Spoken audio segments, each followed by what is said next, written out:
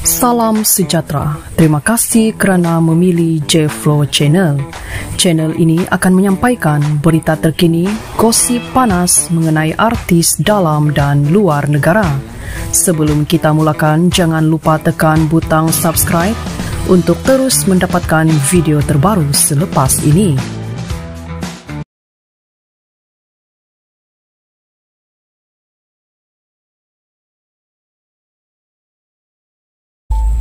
Pelakon AB Abadi berkongsi luahan hatinya berhubung kontroversi anak perempuannya iaitu Marisa Dania yang didakwa sudah berkahwin di Thailand dan menjadi isteri kedua kepada Ahmad Aslam.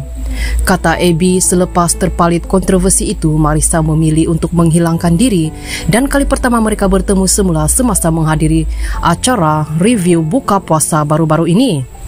Dia melarikan diri dan menghilangkan diri katanya menerusi video sedutan daripada studio yang dikendalikan pelakon Datin Rebecca Nur Al-Islam.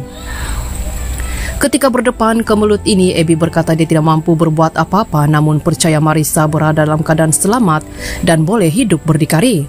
Tapi saya tahu dia selamat dekat luar, itu saya kata. Dia rasa dia dah mampu berdiri atas kaki sendiri.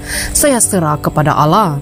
Saya rasa saya tak mampu nak buat apa-apa untuk ubah apa yang dia buat sekarang. Cuma saya mengharapkan yang terbaik buat dia. Kalau rasa perlukan mama, baliklah jelasnya. Sebelum ini tular beberapa video memperlihatkan Marisa dan Aslam melakukan sesi fotografi raya bersama bagi satu jenama pakaian tempatan.